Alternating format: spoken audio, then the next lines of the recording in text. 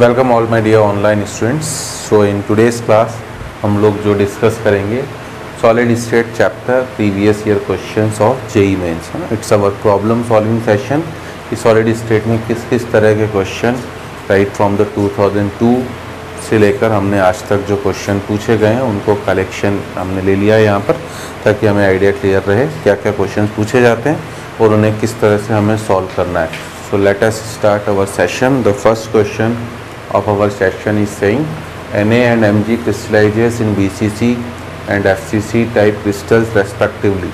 The number of atoms of Na and Mg present in the unit cell of their respective crystals is. तो I hope ये तो सभी को पता ही होगा BCC बोलते ही है ना Na बोला है BCC में और BCC का मतलब क्या होता है it's a body centred cubic unit cell particles कहाँ कहाँ पर होंगे एट कॉर्नर पर वन बॉडी सेंटर पर तो ये हो गया टू ठीक है ना? टू केवल एक ही ऑप्शन में है, सीधे आंसर फोर हो गया। क्वेश्चंस एग्ज़ाम में करते वक्त केयरफुल रहिए, सीधे ऑप्शन से आंसर निकालिए, ठीक है? बट ठीक है, हम लोग घर पे कर रहे हैं तो पूरा करेंगे। अब एमजी की बात करें बेटा। एम जी क्रिस्टलाइज हो रहा है एफ़ में। तो एफसीसी का मतलब कहाँ कहाँ पर? What is the full form of FCC face centred cubic unit cell तो एटम्स कहाँ कहाँ पर होंगे? एट तो कॉर्नर पर सिक्स फेस सेंटर पर कॉर्नर वाले का कंट्रीब्यूशन हमें पता है वन बाई एट होता है फेस सेंटर वाले का कंट्रीब्यूशन होता है वन बाय टू तो ये फोर हो गया, है ना? तो एग्ज़ाम में जब भी कोई भी आप टेस्ट देने जा रहे हैं, आप किसी भी इंस्टीट्यूट में पढ़ रहे हैं, कोई टेस्ट सीरीज़ ज्वाइन करी की हो आपने, उसमें मेरी अप्रोचेस प्लीज़ फॉलो करते हुए चलिए। आपने टू जब निकाला तो सीधे आंसर फोर हो गया। दोबारा टाइम खोटी करने की ज़रूरत नहीं है। और ये मैं उम्मीद करता हूँ कि ये तो हमें याद ही होता होगा बेटा सभी को, है ना?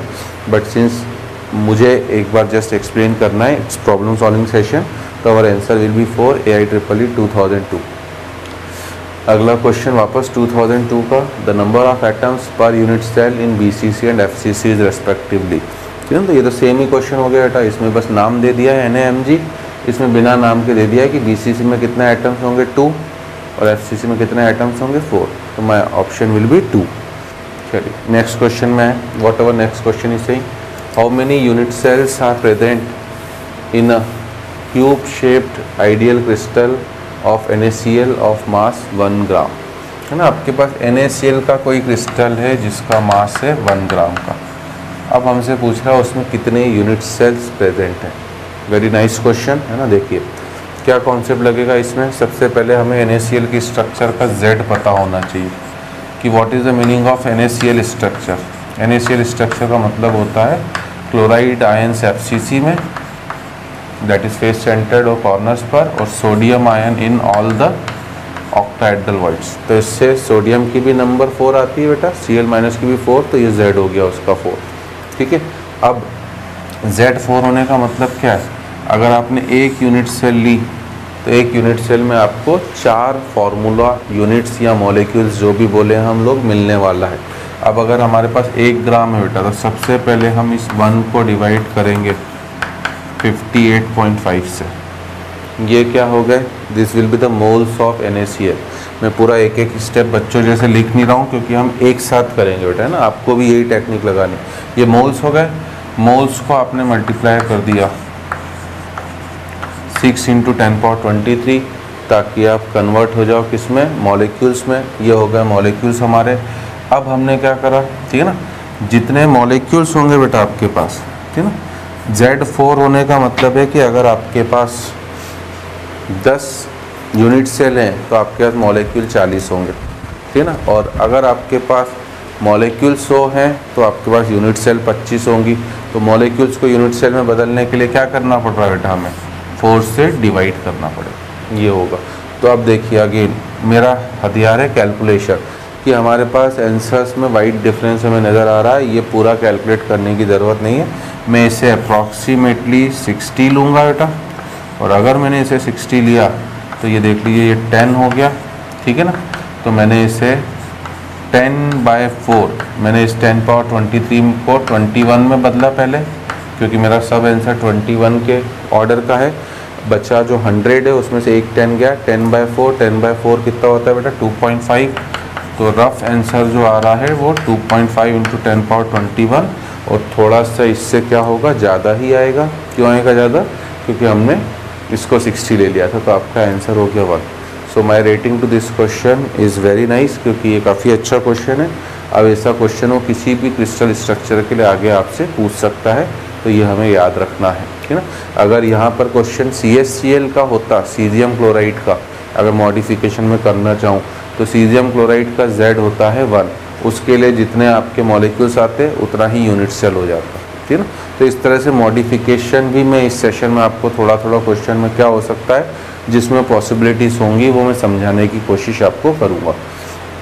चलिए what our next question is saying what type of crystal defect is indicated in the diagram below है ना? पहले तो डायग्राम को ढंग से रीड करना है। फ़र्स्ट रो में तो पूरा आइडियल स्ट्रक्चर नज़र आ रहा है N A C L N A C L N A C L second में सी एल के बाद एन ए मिसिंग है है ना? फिर सी एल फिर एन ए फिर सी एल मिसिंग है।